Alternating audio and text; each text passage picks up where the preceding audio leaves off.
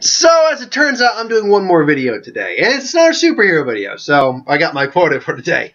And you're Domino. And Domino was being a little fussy in the last video, but you seem to be calmed down. But, yeah, well, not really. Did you get your meds today? We gotta give her meds. She's very hyper to the point we need to kind of calm her down a bit. Um, but, uh, yeah, so, was it yesterday, or was it a couple, it was a day or two ago, that they announced that the Harley Quinn spin-off movie that they announced is going to turn into a Gotham Sirens movie, which is going to feature Poison Ivy, the the cat a version of Catwoman, you know, uh, the the femme fatales, if you will, of the DC universe and the villains uh, rogue, rogue gallery, at least for Batman. And I have two thoughts on that, and I agree a bit with John Campea from uh, Collider on this. Is that they Warner Brothers keeps changing up their slate, bumping things back when they already revealed the plan they made, and it's putting a lot of distrust I have, in well, not a lot, but it's giving me a little less faith in DC because I I'm one of the people who de- really does enjoy uh, BVS and Suicide Squad, despite understanding and recognizing the problems with those films. Um, but those buddies, those movies did well, so they're they're they're making money enough to keep on going on with the uh, DC universe. Wonder Woman looks pretty good. Justice League, at least from the bit we saw, looks entertaining. So it's not like they don't have a plan that's working to some degree. It's just not clicking on all levels. They just need to correct, correct course correct the ship a little bit. But what they're doing is that they're not just course correcting the ship. They're plotting a completely new route to a completely new destination. Um, so I don't know what they're they, they don't have, seem to have any. They're very reactionary, is the thing, and I'm not as vehemently angry about it as some other people are. Again, watch uh, John uh, John Campea on Collider's uh, movie talk. I think it was yesterday, um, or the day before, one of the two. yeah, he got angry. Um, I'm not that angry, but I am disappointing them in that. Now, on the second notion, would I be interested even in a Gotham Sirens movie? I was somewhat interested in it when it was a Harley Quinn movie because it would have been a lot of Harley Quinn, the Joker, and probably some Bat, definitely some Batman, and uh, you probably would have had maybe some Poison Ivy because she's got a history of Poison Ivy. Instead, now you've got this Gotham Sirens movie, which, yeah, granted, I would like to see other characters in this DC universe, like Poison Ivy, like Catwoman, what they would be like, especially since we have an older Batman. We probably have older versions of these characters to some degree.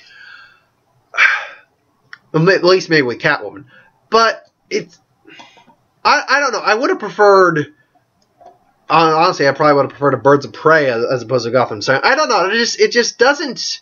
I'm not I'm not disappointed with it. It's not like my bottom pick. It's not my top pick. It's it lies somewhere like in the middle. With that said, though, um, I mean we know Margot Robbie will come back to play Harley Quinn. Well, they haven't been really talking about anyone who's been circling for Catwoman yet. But apparently, a name going around right now for Poison Ivy would be Megan Fox. And they say that for a number of reasons. One, she's been in comic book movies before. She's um, uh, she's she's got the look. Uh, she's been apparently ordering certain specific Harley Quinn and Poison Ivy comics. So, and I, there was another thing too that I literally just watched a brief article on. So there's no confirmation. It's just a name that's being thrown out out there. Um, and and when you think about it, Poison Ivy is a character who, because of her physiology, because she's part plant, wouldn't age like a normal person. She'd probably age a lot slower if she aged at all. So she could st- she could have been around for as long as Batman has and still look pretty much like a twenty something year old. Megan Fox definitely has the look for it. I can definitely see her with green, pale green skin, like like an Arkham uh, Arkham City or, or Arkham Asylum style Poison Ivy. I could definitely see that. Uh, but my issue is it's Megan Fox. I don't hate Megan Fox, but she is not the strongest actress in the world. When she's bad, she sucks. When she's mailing it in, she's pretty boring. At most, of the movies I actually enjoyed her in would be something like um, uh, Jennifer's Body. She, but she was really playing off that um, role. She was really playing off that character type. Uh, what else have I enjoyed her in? Because I've seen her in a lot of movies, but what else have I enjoyed her in? Um, she was passable in the first Ninja Turtles movie. she wasn't that good in Jonah Hex, but no one really. Even Josh Brolin, God bless him, he was doing his best.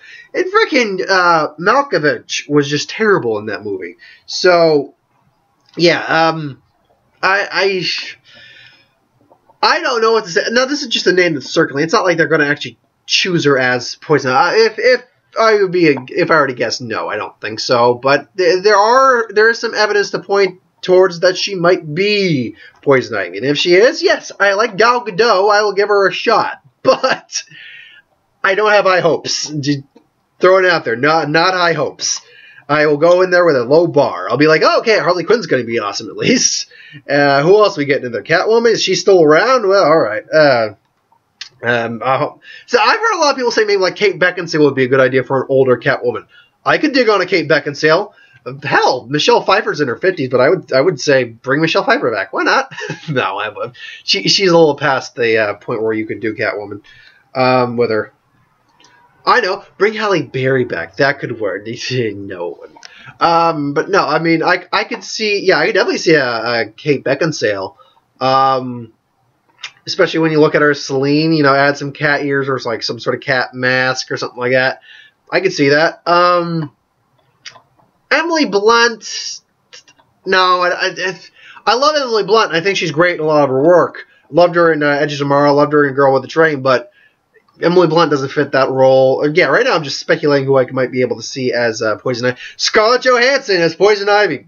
Yeah, honestly, I could. I think I even made a suggestion for that when I uh, did my Marvel DC flip flop video. Like if they switched their respective companies, who would they play? And yeah, I can see Scarlett Johansson's uh, uh, Poison Ivy. She's a very solid actress, and she's gorgeous. She's got the part, so or she looks the part. So yeah, I could see that. If I if he said point Scarlett Johansson's Poison Ivy cast tomorrow, I would not be surprised. I'd be like all for it. Um, of course, I can also see Scarlett Johansson a bit as Catwoman too. So, hmm. But um, because again, Black Widow definitely helps that. But uh, that, that's my thoughts on it. I could go speculating and speculating, but I'm not going to. Um, thanks for watching, though. Hope you enjoyed. Like, comment, share, subscribe. As always, if you want us to review something, put in the comments below. Let us know. We'll do a review of it at some point. Rogue will be tonight. Box office will be on Sunday. If I have anything else worth talking about, I'll talk about in between then. Um, and Despicable Me 3 trailer dropped. Um, I watched it. It looks cute. Um, I know Gru's married to uh, the, the, the, I think it's Lucy. Uh, that's her name. I didn't see Despicable Me 2, unfortunately. Um, and I've only watched most of Despicable Me 1 and I didn't see the Minions. So I've watched half these movie series, almost half. Uh, yeah, yeah. Um, are, are not the, oh yeah, ideas for who would win, so what else? You can put those in the comments below. I'll get to them at some point. But anyway, thanks for watching. Hope you enjoyed, and I'll see you folks.